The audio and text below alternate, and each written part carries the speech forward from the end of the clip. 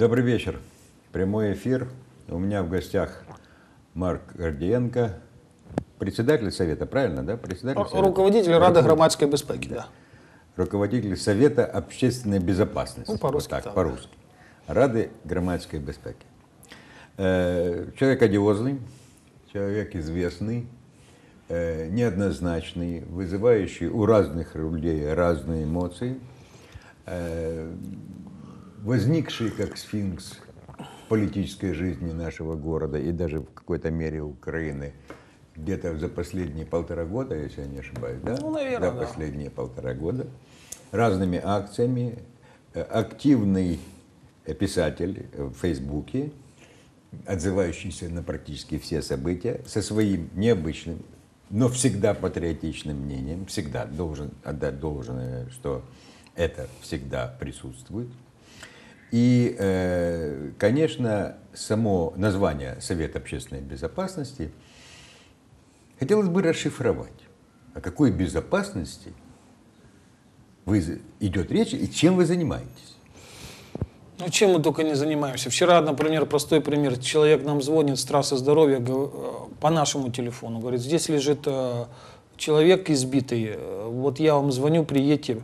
Э, Можете приехать помочь? Мы, конечно, выслали патруль, взяли человека, узнали, что его избила милиция, э, воин АТО, выписавшийся только из госпиталя. Да, днем они пошли с товарищем, чуть-чуть перебрали, украли у него сумку. Он встретил милицию вместо того, чтобы милиция его, ему помогла. Она его избила, украла у него золотую цепочку. И вот он лежит а, вот так вот. Сейчас мы его отвезли, вылечили. Сейчас будем искать этих милиционеров. Таким образом, мы вышли на тему, которая сегодня достаточно актуальна. Эта тема связана с тем, что Совет общественной безопасности в какой-то мере занимается, ну, будем так говорить, наблюдением, а зачастую и просто троллит э, силовые структуры. Нет, мы э, занимаем очень взвешенную позицию. Посмотрите, я, а, мы очень много общаемся с силовыми структурами, с, мили- с милицией, с прокуратурой, СБУ и судами. И в зависимости от того, насколько они адекватно себя ведут с точки зрения Вашей точки зрения. нашей точки зрения. Она с точки зрения очень простая. Патриотизм справед- и относительная хотя бы справедливость. И достоинство. Вот если они защищают людей вот в этом формате, значит, а, мы с ними сотрудничаем. Если они не защищают, вот у нас тоже предпоследний пример. Он пошел по всем э, телеканалам. Негодяй Донецкий э, э, среди бела дня похищает свою подружку, бывшую, увозит там ее, издевается над ней, его задерживает милиция, проводит нормальное следствие, милиция, прокурорский, тут были, скажем, нет к ним претензий. А суд апелляционный его отпускает под домашний арест. И эта девочка опять же приходит к нам на Жуковского 36 и говорит, спасите, помогите, потому что он мне звонит, угрожает, говорит, что меня убьет, а моих родителей, которые в Донецке, его ополченцы, друзья, придут и накажут. Ну вот и что? Кому ей больше идти? Она говорит, кому мне больше идти? И что вы сделали в результате? Ну давайте я не буду рассказывать, что мы сделали. Но вы ликвидировали его, что ли? Нет, мы его не ликвидировали, но мы очень э, внятно и жестко с ним поговорили, и вопрос у него э, совершенно теперь у него точка зрения поменялась. Одно дело, когда он тиранит беззащитную молодую женщину, другое дело, когда он будет тиранить достаточно другими словами- другими крупную словами, серьезную понятно. организацию. Не, Понятно. не сильно у него и получится, наверное. Понятно, понятно. Поэтому мы пытаемся найти взаимоотношения. Есть среди милиции, милиции очень внятные, порядочные люди. Ну, есть среди прокурорских такие, есть. Среди судейских есть такие. Но их как капля в море. Вот реально капля в море. Как бы мы ни говорили, реально такое ощущение, что у нас государство гангрена. Марк, э, мы, э, я сейчас задам вопрос по поводу сегодняшнего события. Сегодня вы знаете э, депутата Горсовета Алексея Космина, э, председателя фонда госимущества, который находится на Арнаутской улице, на Большой Арнаутской. Его сегодня, э, насколько я понимаю, самооборона э, решили иллюстрировать. Это так называемая мусорная иллюстрация. Они его, конечно, бросили, как это уже мы знаем и видели, э, в мусорный бак, облили зеленкой, затем еще обсыпали чем-то. Ну, не, не страшным, но, во всяком случае, достаточно унизительным. Вот. э, Чуть ли не заставили его написать, как э, говорится в средствах массовой информации, э, написать заявление об отставке, ну и так далее. и подобное. Ваше отношение к подобным иллюстрациям? Мое, мое отношение к подобным иллюстрациям, а с, одной стороны, очень положительное, потому что мы, в общем-то, пробивали этот закон иллюстрации с Егором Соболевым, там, с партией Воля на, на тот момент. Б. а Если он еще состоит, он депутат горсовета и во фракции Родына, Нет, а, уже, нет. нет. я бы всю фракцию Родына бы просто иллюстрировал Нет. в ДНР, в ЛНР. Вообще, Он был в партии регионов, но не в партии Родины. ну, партию регионов тоже я бы иллюстрировал в ДНР, ЛНР. Ну, там разные тоже люди Да. были, отдельная история. Но базовая вещь сейчас состоит в другом, что есть ключевые знаковые фигуры, которые явля- являлись какими-то ключевыми знаковыми фигурами того беспредела, который творился у нас при семье Януковича. Проблема, что эти фигуры не ушли, они остались, они руководят и э, достаточно себя хорошо чувствуют. И, в общем-то, думают, что так оно будет и дальше продолжаться. Невзирая на, на то, даже уберем э, формат, я знаю, в общем-то, э, среди моих друзей и товарищей были очень хорошие чиновники и, в принципе, неплохие люди, которые сначала делали государеву службу, потом немножко воровали для себя лично. скажем. Ну, у нас э, чиновники э, всякие... э, да, у нас ну, других чиновников не других было. чиновников не было, это была их зарплата Да, практически. это других Это- чиновников не было. И они Но- считали это справедливым совершенно. Но а, этих людей сейчас убрали, и они себе ушли, хотя я... Но на, проблема в том, что на их места пришли вообще отъявленные негодяи. Сегодня бизнес что говорит? Вот я постоянно, мы занимаемся сейчас проблемой милиции и таможни. Как милиция, а, один, одна из схем милиции, которая заставляет а, бизнес на таможне просто стонать. Помните Саакашвили 8 числа, июня, перед всем честным народом показывал листы э, докладных, ну, э, милицейские рапорта, где было сказано о том, что не растамаживать такие-то, такие-то грузы без присутствия на таможенных постах э, определенных милицейских подполковников. Саакашвили с возмущением это все посмотрел, передал это президенту, президент посмотрел, передал это нашему э, замгенпрокурора, тоже грузину, сказал, разбирайтесь. Я тогда написал пост. Идет война двух полковников, мамки и Бута, это которые из главного следственного управления, сделали такую схему себе, кормушку, которая минимум миллион баксов в месяц им приносила. Где просто грузы не растамаживались, и менты говорили, вы их не растаможите никогда, или это будет очень долго. Под них легла таможня в этом формате. Причем это полное нарушение всего законодательства Украины. Ну да, м- милиция не имеет никакого отношения к тому. Никакого отношения. Она имеет только за пределами таможни Да. может действовать. Никакого совершенно. Так вот, вот эту схему, вы думаете, удалось поломать? Нет, до сих пор. а, мы 15 числа на таможенном терминале задерживаем подполковника, который осуществляет незаконный досмотр груза уже после таможенного оформления. Вызываем внутреннюю службу безпеки, милицейскую. Внутренняя служба безпеки его принимает, везет на свидетельствование, что его никто там не бил и все остальное. Начинает опрос, допрос этого человека. Он заявляет своим покровителям мамки, что его избили. Они приходят к Авакову, говорят, нашего сотрудника избили, изнасиловали, сломали ему руки, ноги, головы. И они направляют беспрецедентный случай. На той неделе приехала комиссия из четыр... сводная комиссия из четырех служб. Внутренняя безпека Киевская, инспекция по личному Это составу, милиция, да, да. штаб и э, главное следственное управление. То есть вот с десяток людей приехали разбираться с одним только вопросом. Почему избили подполковника? Их, э, когда этот вопрос задали, наша внутренняя безпека сказала, мы гарантируем, его никто не бил. 40 видеокамер таможенного терминала это показывают. Мы выложили в этот же день в YouTube э, фрагмент Ну, гражданского задержания этого человека, где тоже все видно, что он живой, здоровый. Но это их э, не убедило, понимаете? Так это их не убедило в области, условно говоря, где Саакашвили, где руководит милиция его а, человек, а внутренняя безпека его тоже человек. Да, Марк, э, понятно.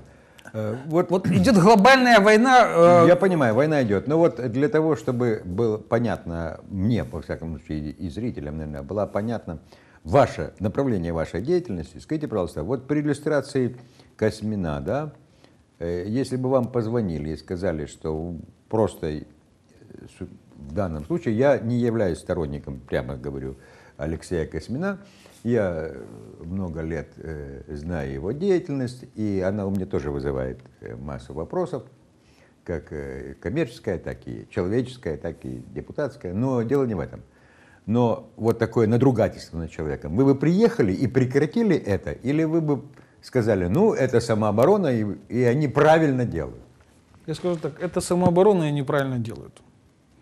Мы должны, знаете, сегодня сложно а, неправильно занять позицию ни там, ни здесь и нигде. Если мы видим, что есть чиновники, которые с огромным хвостом проблем, и у них не хватает инстинкта сохранения и разума, самостоятельно уйти и тихонечко жить себе на своей даче, в своем домике, заняться какой-нибудь другой деятельностью, все про него бы забыли, не до них. Они продолжают бросать вызов стране тем, что они продолжают занимать те должности, какие есть. Они сами в этом виноваты. Я бы с удовольствием хотел засунуть мусорный бак, законопатить его и отправить в море Кивалова, который просто вызов стране, вызов Одессе. И, Мы еще вернемся к этому вопросу. Вам звонят, можно мы Да, послушаем, потому что человек будет ждать ответ. Мы вас слушаем. Пожалуйста, говорите. Говорите. А, Добрый день. Добрый день. Добрый день. Добрый, день, добрый. день. Говорите. Э, Я хотел бы задать один, э, за- задать один вопрос вашему гостю. Я его на- за его деятельностью и поведением э, наблюдаю давно и сейчас в студии. Я хочу понять э, его мнение. Он считает свою деятельность э, законной в стране. Он считает себя адекватным человеком и считает ли адекватным он тех людей, с которыми он э, дружит. Это Резвушкин и прочее, прочее шушваль. Понятно, спасибо. Только единственное, что, что огромная просьба к телезрителям. Вы сразу, э, г- говоря там шушвали и тому подобные вещи, вы сразу определяете свою позицию. Это нормально. Единственное условие, что и хотелось бы это услышать, что вопрос должен быть чистым. Он не должен предполагать себе ответ. Ну, Игорь, он же Потому ж, что когда вы говорите зритель, шушваль, да, при этом при всем шушваль, то уже понятен ответ, который вы услышите. И понятна ваша, понятна ваша позиция. Она уже, вы занимаете совершенно другую сторону вопроса, и понятна ваша позиция. Поэтому в данном случае ответ будет, ну, в общем-то, уже в ответе содержится, в вопросе, вернее, содержится ответ. Ну да ладно. Да, ну вот, Э, Тут есть несколько простых моментов. Когда мы недавно беседовали, мне один интересный журналист, когда я рассказывал про э, борьбу Мамки, Бута, Кивалова и всего остального, они задавали вот как раз вопрос, это же не, мы же идем в Европу, это же не европейские методы и все остальное. Мы никогда в Европу не придем, так как мы идем. Мы сейчас находимся в очень серой зоне, где отсутствует в законе отсутствует справедливость, что сам закон э, таким образом устроен, что если вы попадете в его жернова, в его жернова, вы оттуда не выберетесь. Или вы выберетесь голым, нищим и боссом, вас перемолят, и дай бог, чтобы вас не посадили. Мы каждый день сталкиваемся с этим горем и в ручном режиме пытаемся помочь людям. В ручном. Почему? Потому что нас кто-то ва- уважает, кто-то боится, кто-то на нашей стороне. Но в ручном режиме мы помогаем единицам. А сколько мы людям помочь не можем? Что такое по поводу Резвушкина? Я вам скажу, Резвушкин человек, оправдывающий свою фамилию, резвый. Он человек с обостренным чувством справедливости. Может быть, есть у него э, недостатки. Никто не ангел. Ни вы не ангел, ни я, ни вот Игорь. Мы ангелы все на небе. Я вам только одно скажу, что когда нужно было защищать Родину, мы вместе с Резвушкиным стояли и ее защищали. Когда нужно было защищать Одессу, он ее защищал. И сейчас та Одесса, которая сегодня есть, в том числе должна быть благодарна Резвушкину и таким ребятам, как они. Потому что Одесса цветет, есть отдыхающие, у нас никто не бомбит, у нас нет проклятого русского мира. А если завтра возникнет опасность, уверяю вас, Резвушкин будет стоять в первых рядах против этой опасности. А вас там не будет. И прокурорских не будет, и судейских не будет. Хочу добавить от себя, вот, э, конечно, я должен задавать вопросы, а не заниматься тем, что пытаться анализировать или что-то добавлять от себя. Но последнее время я заметил эту тенденцию. Тенденцию связана с тем, что как только начинается какая-то ну, борьба, будем называть это борьба за справедливость, или борьба с негативом, или борьба с коррупцией, тут же возникает вопрос Европы. Это не европейский, это, дорогие мои, сегодня нам до Европы по всем статьям Лет 300. так далеко. И мы живем в неправовом государстве. И сегодня правом пользуются только те, кто имеют это право по должности или по деньгам, но никак не по закону. Поэтому, извините, когда дело касается борьбы за справедливость, тут уже ничего не сделаешь, мы дикари. Мы можем себе позволить бороться не парламентскими методами, к сожалению, наверное, но тогда все-таки есть какой-то страх у тех, кто этим законом вертит вправо, влево, вверх, вниз. Они боятся. В принципе, по большому счету, страх бывает, как не, как не страшно это говорить, страх бывает очень положительным, потому что страх останавливает. Останавливает несправедливость, а зачастую и бандитизм. Посмотрите, вот та наша деятельность, неадекватная, как вы говорите, с точки зрения законодательства, она что сделала, то, о чем я говорил? Мы пытаемся у людей убрать ген страха перед прокуратурой, перед судьями, перед чиновниками. Вот то, что вчера, сегодня сделала самооборона, это тоже метод убирания страха. Вот сидел небожитель, как они особенно у нас были небожители прокурорские, они были цари, они вершители судеб, они могли любого человека, любого посадить за что угодно. И они это делали. И мы это знаем, мы это видим. Сегодня это все начало уходить. Они сегодня превратились в обычных, ненавидимых всеми нормальными людьми э, особями. И я надеюсь, что там какие-то будут реформы идти, но это, пока у нас будут руководить Шокины, Гузари и все остальное, это все бесполезно. Ну, Гузарь решил в отставку. Ну, так ушел, вместо него пришел такой же. Э, надо оставить... Вот... Хорошо, ситуация меняется. Но вернемся к той ситуации, которая была год. Э, многие говорили, и это э, было, не было секретом, что Игорь Палица финансирует Одесскую самооборону, финансирует комитет вашей безопасности, финансирует другие структуры для того, чтобы э, ну, иметь под рукой силы, сохранить, удержать, противостоять в конце концов. Правда ли это?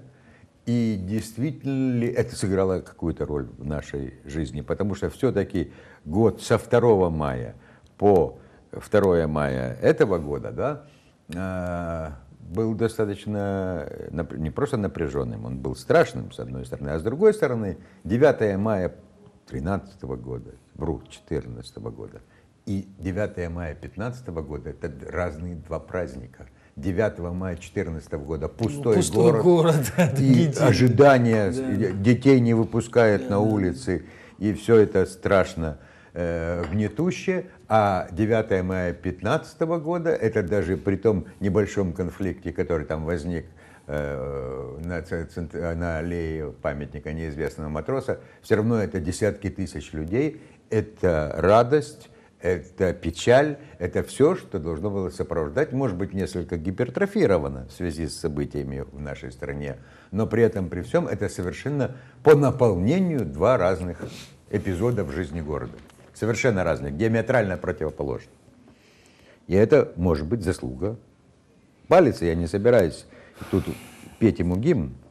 Нет, э, Игорь Палец тоже не ангел, и тоже человек, как мы, опять же, все.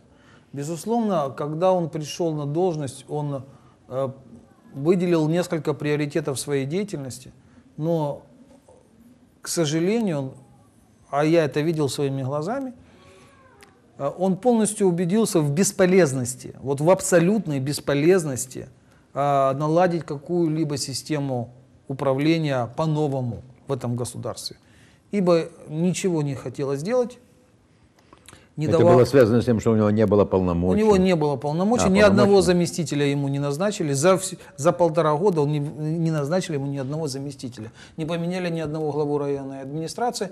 И самое страшное, что не было финансирования вообще. В ручном режиме я присутствовал, как он пытался выбить какие-то деньги для области, ругался, матерился, а ему их не давали. Это был вот такой вот коллапс. И когда у тебя нет никаких, Рычагов, да. никаких инструментов, то он выделил приоритет, который был особо важен для нас. И начал этот приоритет, это безопасность Одессы, Одесской области, границ.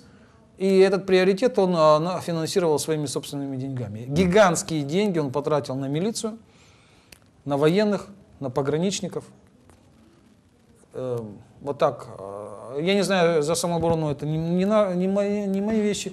Что-то, какие-то деньги мы, э, он отдавал э, РГБ, это не секрет, я всегда говорил, помните был вопрос, кто вот нас финансирует? Да, да. Нас финансир... К сожалению, палец нас финансировал очень мало. Я бы хотел, чтобы это было на порядок больше. Сегодня ушел палец, у нас финансирование также продолжается, потому что есть а, большая группа бизнеса, которая четко оценивает нашу роль и место в этой жизни. И эту роль и место в этой жизни она оценивает как бизнесмены какими-то деньгами, понимая, что есть определенная структура гражданского общества, которая играет какую-то важную роль в, этой, в этом городе. Да, понятно. Ну вот Игорь Петрович Палица финансировал э, силовые структуры, судя по всему, но финансировал их, э, наверное, все-таки больше не для того, чтобы сохранить мир, прямо скажем, а для того, чтобы они все-таки существовали и выполняли как-то свои функции, потому что это все было кадры, которые оставались из прошлого. Да, Вы конечно, согласны? что? Конечно. Сейчас пришло новое руководство и областное ОВД, и другие структуры, ну и новый губернатор. Э, Изменилась ли ситуация, отношение, философия не деньгами, а чем-то, может быть, другим? Нет, смотрите, деньгами однозначно э, тот же Саакашвили и те люди, с которыми я общаюсь, они а, люди, которые твердо ходят по земле, они четко понимают, что а, ключевых людей, те люди, которые а, отвечают за серьезные участки работы, они должны получать серьезные, э, серьезные деньги. Можно мало очень найти людей, например, у которых есть побочный бизнес, реально нормальный побочный бизнес, и его не интересует, э, скажем, небольшая Ну да. зарплата. У него есть откуда брать, скажем. Я знаю тоже таких милиционеров, он говорит, я не ворую, потому что у меня есть.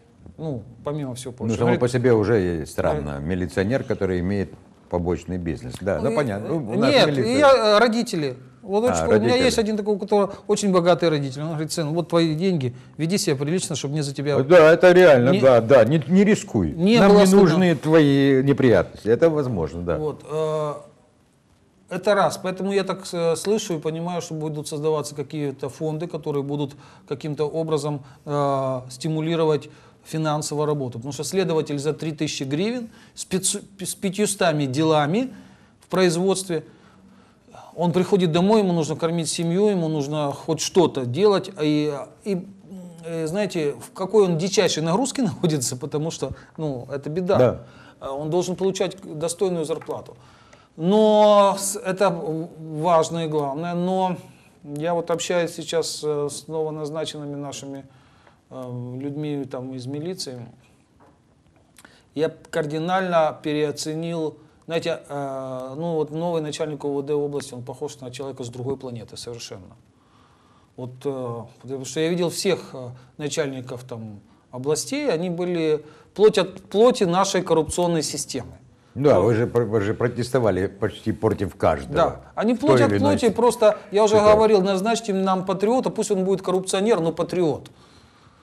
Я уже, э, а тут реальный патриот Украины, грузинского происхождения, да, реально у человека четкое понимание, что бандитизм это зло, воры это зло, договариваться с ними зло, коррупция это зло, и э, у него есть четкая заточка на бескомпромиссную попытку решить Понятно. эт- этой- эту проблему. Понятно.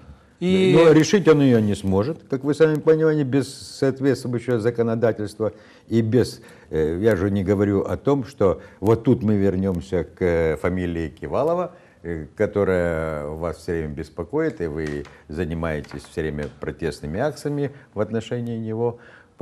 Пок- Пока что, пока будут суды, прокуратуры и все органы, которые имеют отношение к милиции, самое прямое, зачастую закрывают или наоборот открывают, а в конце концов ставят точку, как суды, а не многоточие, как те же суды ставят, вот в том же случае, о котором вы рассказали, суд выпустит, и все, и на этом все закончится. Под залог там 5 тысяч гривен, который э, у товарища, э, которого судят, есть, потому что он только что украл полтора миллиона. И Да. 5 тысяч гривен у него как-то найдется, на то, Найдется, да. чтобы внести залог. Или даже 50 тысяч гривен. Не жалко за свободу. Так, э, вот тут мы возвращаемся к тому, к фамилии, которую вы назвали. Вы считаете Кивалова основным обидчиком нашей страны? Ну, он один из лучших учеников. Вот скажем так. Помните, этот был у Шварца хороший фильм? Он говорит, «А, да все же были такие. Да. А он говорит, ну ты был лучшим учеником. Вот Кивалов лучший в этом смысле.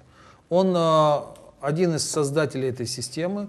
Он а, пережил первый испуг, когда у нас не было сил э, повторить штурм Межигирья, повторить штурм, штурм Гарри Поттера. Он точно, я знаю, несколько раз договаривался и несколько раз от него отказывал, отказывался президент с его окружением. Сегодня, потому что э, сегодня есть э, у Кивалова, как это сказать, шаткое положение, он о чем-то договаривается, но все смотрят, то есть команду Порошенко рвать Кивалова, нету этой команды. Потому что если бы была такая команда, мы за полтора года столько наработали уголовных дел и э, фактов, и завели уголовные дела. У нас зав- заведено 4 уголовных дела на него. У нас есть дело в суде. Э, даже не 4, уже 5 уголовных дел. Он до сих пор, э, сегодня будет выемка, должна была э, дать э, суд э, санкцию на выемку по уголовному делу э, против юридической академии, вдумайтесь, о недопущении к э, проверке Государственной налоговой инспекции. Да, там... То есть сегодня а, суд должен был дать санкцию на выемку и изъятие этих документов, потому что там хищение на сотни миллионов гривен. И э, чем так э, Кивалов приворожил э, Порошенко, администрацию президента, БПП, я не знаю. Чем-то приворожил. Думаю, что связями, деньгами, личными отношениями там, и все остальное. Но я э, считаю и уверен, что Саакашвили, э, даже если ему, как это сказать, сказали, не трогай пока Кивалова, там, чуть-чуть, дай нам осмотреться, то если Саакашвили будет э, э, надолго оставаться в нашей области, а я надеюсь, что это будет хотя бы какой-то год, полтора, два, он столкнется с тем фактом, что без того, чтобы эту фигуру убрать с политического небосклона как минимум страны и Одессы, у него дальше ничего не пойдет. Понятно. Ну, э, действительно, должен сказать, что э, Сергея Васильевича, по-моему, Да, Васильевич. Сергея Васильевича э, мы все знаем, и зачастую э, даже в центральных органах э, печати, э, печатных органах, а также э, мнение некоторых столичных чиновников, что э, Сергей Васильевич является одним из основоп- чуть ли не основоположников Одессы, то есть в данном случае самых влиятельных лиц А, в то, нашем, что да, в нашем он городе, один- в нашем это безусловно, городе, да. который диктует и так далее и тому подобное. Ну так это и есть. Вот. Значит, э, да, ситуация, э, она неоднозначна хотя бы уже потому, что Кивалов является, несомненно, хорошим хозяйственником, надо это признать. Он создал из ничего юридическую академию, один из самых богатых, влиятельных и э, коррупционных вузов наших, который, собственно говоря, эту коррупцию и э, рождал. Рождал, да. Да. э, с одной стороны. С другой стороны, конечно, у меня создается впечатление, что серьезной базы для защиты у Сергея Васильевича сегодня нет. Вот знаете, как И, прикрывается? к сожалению, то, что э, президент должен сказать фас или не фас, это очень плохой признак и знак для нашего демократического развития. Ну да, у нас нет еще демократического развития. Прямо скажем. Мы туда идем, да? Прямо скажем. Прямо скажем. Ну, Кивалов же, э, у него есть защита, с одной стороны, типа он нардеп, с другой стороны, Венецианская комиссия, где им куплено-перекуплено и облизано со всех сторон. И с третьей стороны, он как Путин прикрывается детьми. Вот мы пытаемся сейчас а, а, даже не отобрать, а привести хоть в какую-то норму украденной им бисквитный переулок 3, где он просто тупо украл 5000 квадратных метров у акционера. И если бы там не было детей, все было бы решено. Но он- Да. А он прикрывается детьми, говорит, а у меня 2600 человек детей. Ну ничего, что они на ворованном а, учатся, будущие юри- юристы. И те же все милиционеры и прокуроры мне говорят, ну, Марк, а что же там же дети, что будем с этим делать? Вот. Я говорю, ворованные. Говорит, ну, как бы да, ну, видно, что это выходит за рамки всего. Да, эмоционально, конечно, это достаточно серьезный довод, когда говорят о том, что это же дети, это молодые люди, они же останутся без, э, Нет, там- без, без- без этого, без этого, без стадиона, без жилья, без...